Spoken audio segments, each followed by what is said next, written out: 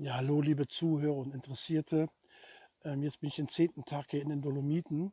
Ich habe ja hier schon zwei Videos, nee, vier Teile gemacht vom Leben in äh, Italien mit Preisen und ähm, was das hier kostet. Aber so ein bisschen von der Politik von Deutschland bekomme ich dann doch noch am Rande mit, weil wir hören hier ähm, jeden Morgen WDR 2 Nachrichten und bekommen dann auch mit hier, was hier so in Deutschland passiert, was in Italien passiert, äh, Europa passiert. Ich versuche mal auch hier abzuschalten, aber äh, ganz klar ist ja auch, ähm, was jetzt hier in Deutschland passiert. Ich, ich fasse mal zusammen, was mir so jetzt hier einfällt. Erstmal äh, ESC hier, wie, wie hießen die? Äh, letzter Platz Deutschland. Was, geht hier eigentlich ab? Deutschland bezahlt ja immer alles und äh, ich glaube, das fünfte oder sechste Jahr hintereinander letzter Platz.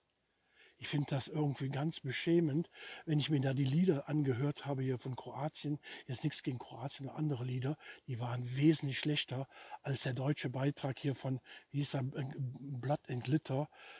Es ist beschämend ich, mir, mir fehlen da echt die Worte, die ich am nächsten Morgen gehört habe. Beschämend. Ich weiß nicht, wie ihr das seht, könnt ihr mal in die Kommentare reinschreiben. Das ist das erste, was mir einfällt jetzt hier, was in der letzten äh, Zeit passiert ist. Das nächste Thema ist hier, endlich ist äh, Patrick Reichen zurückgetreten. Nach was für einem langen Hin und Her, da habe ich ja auch schon Videos zu gemacht. Und der, der Filz, der grüne Filz in der, ähm, hier im Wirtschaftsministerium ist ja viel tiefer. Da reicht nicht der Greichen, da kann eigentlich das ganze Wirtschaftsministerium zurücktreten. Äh, am Habeck angefangen, äh, über Greichen, über die ganzen Verschwägerungen und Ver Verheiratungen und wer da alles wen da kennt und wer ne, von der Aroga äh, und wie die ganzen finanziellen ähm, Verschachtelungen da sind, das reicht dabei weiter nicht. Und da, da, da fehlt mir auch äh, die, ähm, wie heißt das hier, die, die, ähm, die, die, die, äh, die, die Öffentlichkeit, die, die Meinung der, der, der öffentlichen Medien, das muss man doch viel mehr äh, debattieren und viel härter ins Gericht gehen. Für mich muss der Habeck zurücktreten. Ich weiß nicht, wie ihr das seht, aber ganz klar hat er für mich ganz klar äh, versagt in allen Bereichen. Und diese Heizpolitik, diese ganze äh, Klimawende, dieses ganze, äh, das kostet den Einzelnen über hundert, hunderte, tausende ähm, für die Sanierung der Häuser, Wohnungen. Das ist gar nicht finanzierbar. Ähm, wenn ich mir hier in, in, in Italien vorstellen würde, wenn ich hier durch die Dörfer fahre, die meisten heizen hier mit Holz, mit Holzpellets oder haben hier eine Gasheiz, also überwiegend Holz. Die haben alle richtig Holz hier gelagert, die schlagen hier die Bäume und das wäre hier in Italien undenkbar, selbst wenn man hier runterfährt nach Belluno, äh, die werden auch mit Holz heizen oder überwiegend mit Gas, die werden im Leben keine äh, äh Wärmepumpe um, umbauen ich weiß gar nicht, ähm, äh, da sind wir, glaube ich, hier in Europa das einzige Land, wer das hier äh, einführt. Wir Deutschen machen wir wie immer einen Alleingang und das ist eigentlich unbezahlbar, aber auch nur, weil hier so ein Patrick Reichen und die ganze grüne äh, Riege im Wirtschaftsministerium das schon vorab geplant hat. Von dieser Aroga und die werden ja auch finanziell äh, Beschuss, be, Bezuschuss von den ganzen äh, ähm, Geldgebern, da habe ich auch schon Videos zu gemacht. Ähm, das nächste Thema, was mir einfällt, äh, wir sind ja aus der Atomkraft ausgestiegen und in Finnland, habe ich jetzt gelesen, fällt der Strompreis um 75 Prozent. Nochmal, um 75 Prozent. Und äh, weil Finnland äh, das modernste Atomkraftwerk angeschlossen hat. Und Deutschland hat sich völlig äh, komplett verabschiedet aus der Atomkraft und äh, macht jetzt nichts mehr. Und wir zahlen, wir sind der größte Importeur von äh, Strom und wer soll das alles noch bezahlen? Ich weiß nicht, äh, wie ihr das seht, aber das ist ja bald unbezahlbar. Ich habe schon wieder Angst, nach Deutschland zu kommen. Ähm, ja gut, hier in Italien ist auch nicht alles billig. Ähm, das ist ja, muss man immer sehen, was verdienen die Leute, wovon leben die Leute hier. Aber hier ist, glaube ich, viel Eigentum. Viele Häuser stehen hier leer. Weiß ich auch nicht, wie ne, viele alte Leute hier gerade in den Bergregionen. Äh, und ähm, ja, Venedig sind wir auch runtergefahren und hier Belluno oder hier die etwas beliebteren Städte, Agordo, äh, überwiegend alte Leute. Und wenn ich dann einkaufen gehe hier in Italien, die Preise sind schon teurer als in Deutschland, außer jetzt Nudeln, Wasser, äh, ja, aber hier äh, Fleisch, Aufschnitt, äh, Getränke, das ist 22 Prozent äh, äh, Mehrwertsteuer drauf. Das ist schon teuer und ich weiß nicht, wie hoch hier die Renten sind in Italien, aber der einfache Arbeiter oder abhängig Beschäftigte, wie ich die mal nenne, die werden es hier äh, sehr schwer haben. Ne? Ja, was fällt mir noch ein? Ähm, ja, 15 Minuten statt. Jetzt fangen die hier schon an mit Gesichtserkennung. Ne, 15 Minuten. Das heißt, man darf nicht mehr weiter weg von seinem Ort als 15 Minuten. Das heißt, man kann alles erreichen. Ähm, Arzt, Schule, Arbeit, keine Ahnung, ob aber Arbeit auch dazu zählt. Ich sag mal, die Arbeit nimmt man vielleicht raus, weil man muss ja weiter wegfahren als 15 Minuten. Das ist dann äh, noch machbar. Aber sonst Urlaub und alles, alles in diesen 15 Minuten und dann per Gesichtserkennung ähm, sind die dann hier, äh, wird das hier registriert. Und wehe, du fährst dann weiter raus und du hast äh, keine Genehmigung, dann kriegst du eine rohe Verwarnung. Das heißt also, man könnte gar nicht mehr hier so einen Urlaub fahren, dass das alles hier eingeschränkt werden soll. Alles irgendwo unbegreiflich. Ähm, das nächste Thema ist hier, äh, was ich jetzt heute Morgen bei Tichys Einblick gehört habe, äh, dass diese WHO ähm, jetzt mehr Rechte und mehr Befugnisse bekommen soll im Thema äh, Gesundheitsmaßnahmen. Ähm, zum Beispiel eine Impfpflicht oder Impfungen. Und da sollen die Leute, die dagegen sind, sollen äh, hoch bestraft werden und hoch äh, verurteilt werden und dass das gar nicht mehr äh, debattiert wird. Da hat man jetzt am Bundestag irgendwie, gibt es der Bundes, die Regierung mit der CDU, gibt jetzt hier irgendwie auch Gelder dazu, dass die WHO, die ist ja irgendwie ein, äh, eine Organisation, die ja äh, Spendengelder bekommen von Pfizer, von äh, Soros, wie sie alle heißen, Bill Gates Foundation, habe ich auch schon mal ein Video zu gemacht, ähm, dass die jetzt hier bestimmen können, wann eine Pandemie ausbricht und welche Maßnahmen gemacht werden. Und man darf nicht ähm, dagegen sein, sonst äh, wird man bestraft. Und das hat man stillschweigend, ohne mal, in der, ich weiß nicht, ob dann im Fernsehen kam, ich weiß es nicht, müsst ihr mal schreiben, ob ihr was gehört habt in den Nachrichten. Ich, so in, in, Im Radio kam nichts. Und ja, das ist die Frage. Ist das gut? Ich meine, man sollte der WHO nicht so eine große Macht geben. Und ähm, ich finde eigentlich gut, dass es Deb Debatten gibt über äh, Sinn und, und Zweck einer Impfpflicht. Ich bin froh, dass keine Impfpflicht gekommen ist. Ähm, was habe ich noch als Thema? Was, was, was, fällt mir noch? Ja, hier hohe Überschwemmungen hier in Italien, klar. Äh, also hier hatte richtig geregnet, also Klimawandel, ist das der Klimawandel? Ähm, man kann nicht alles den Klimawandel unterordnen. Ich meine, man soll trotzdem reisen, klar, schlimm für die Leute, die jetzt hier wieder da Emilia Romana, da Nähe von Bologna, äh, ja, das ist heftig, da drei Leute, was wie es aussieht. Ich kann froh sein, dass das hier bei uns nicht passiert ist, weil hier hat es auch sehr heftig geregnet. Da bekommt man schon ein bisschen Angst. Aber wir können das nicht mehr aufhalten. Das, klar, wollen wir das einschränken, aber nicht mit solchen Maßnahmen wie mit den Klimaklebern, die das hier alles mit Macht durchsetzen wollen. Also hier in Italien, hier in, in, in, der, in, der, in, der, in der Nähe von Bologna, äh, äh Belluno oder hier äh, Bassano, Venedig, habe ich also keine Klimaaktivisten gesehen. Also hier wurde nichts gesprengt, äh, nichts gesperrt, keiner hat sich hier festgeklebt. Ich weiß gar nicht, ob die hier in Italien auch tätig sind, ob die eigentlich in ganz Europa tätig sind. Äh, und die werden ja auch finanziell unterstützt, da habe ich ja auch schon mehrere Videos zu gemacht. Ähm, ja, also was fällt mir noch ein, das Thema? Ja, pff, reichen habe ich es durch. Ja, Preise, gucken, wie, wie ist die, wie die Reise ja, Berlin, äh, äh, was mir noch, ja stimmt, hier Bremenwahl. Da ist ja schon mal gut, äh, dass die Grünen so viel verloren haben. Ich kann nur hoffen, dass das jetzt weiter, der Trend weitergeht, dass die Grünen in allen Landtagen rausfliegen, weil wir können, das können wir gar nicht finanzieren, weil was sie alles hier umsetzen wollen. Allein, dat, dat, ich will hoffen, dass die FDP das so weit bringt, dass dieses Heizgesetz nicht durchkommt. Die haben ja irgendwie einen 100-Frage-Katalog gestellt, aber äh, ganz ehrlich, FDP ist, die fällt da um wie ein Fähnchen im Winde. Oder, ne? Die fallen da direkt um, sobald irgendwas ist, weil die wollen ja weiter regieren und die werden einen Teufel tun, da irgendwas gegen zu stimmen. So, aber äh, dann äh, Bürger in Wut, das ist ja von null auf wie viel? 10 Prozent? Sind die jetzt da im, im, im, im äh, Stadtrat in Bremen. Also ist ja irgendwie so ein, weil AfD nicht antreten durfte, wählt man dann Bürger in Wut. Finde ich eigentlich irgendwo gut, dass die auch da drin sind.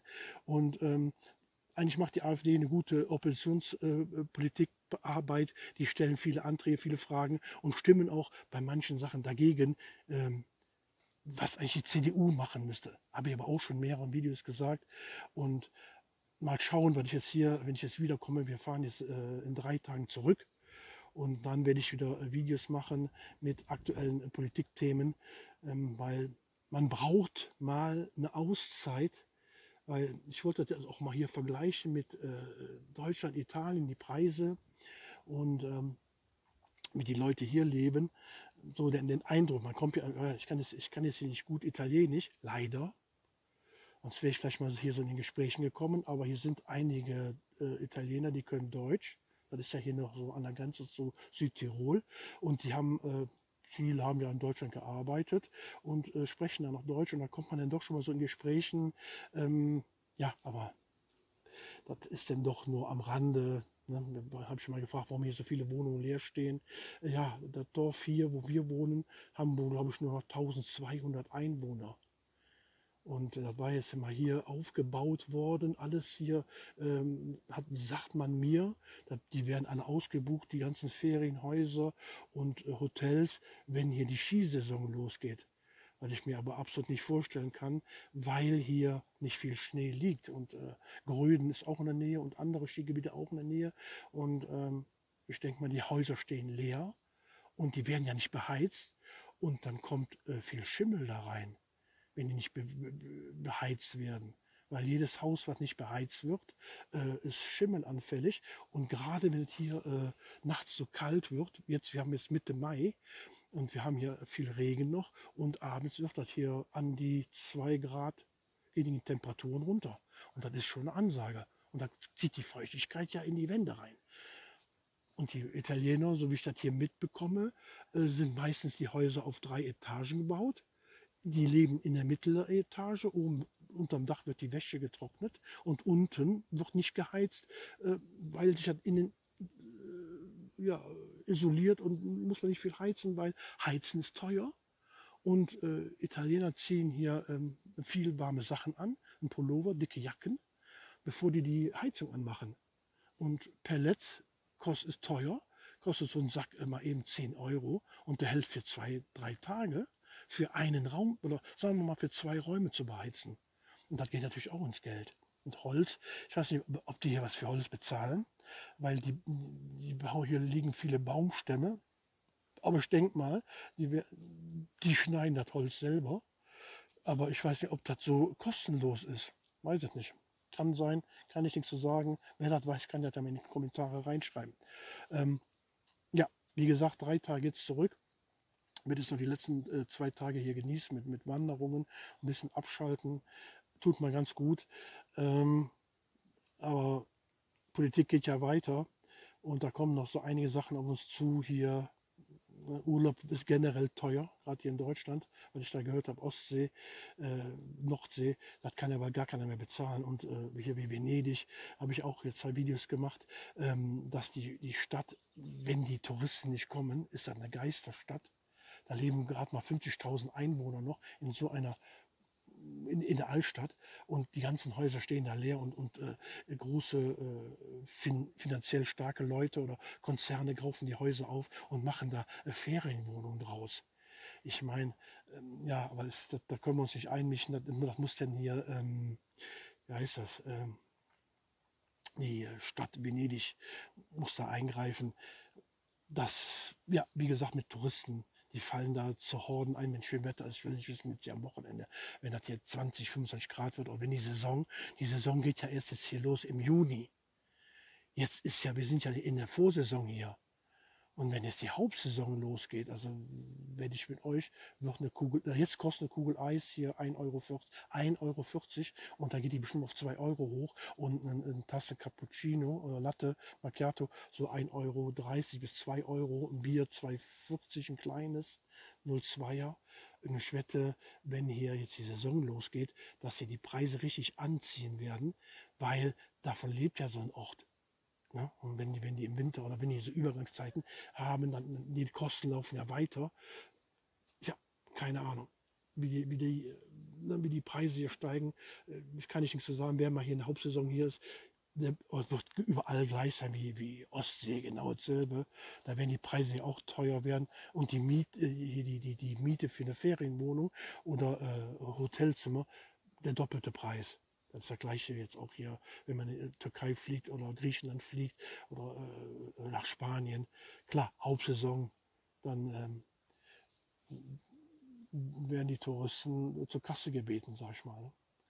Aber gut, man hier zum Wandern ein bisschen abzuschalten, klar, es hat natürlich vieles zu, hier ist alles absolute Ruhe. Man muss immer gucken, was möchte man.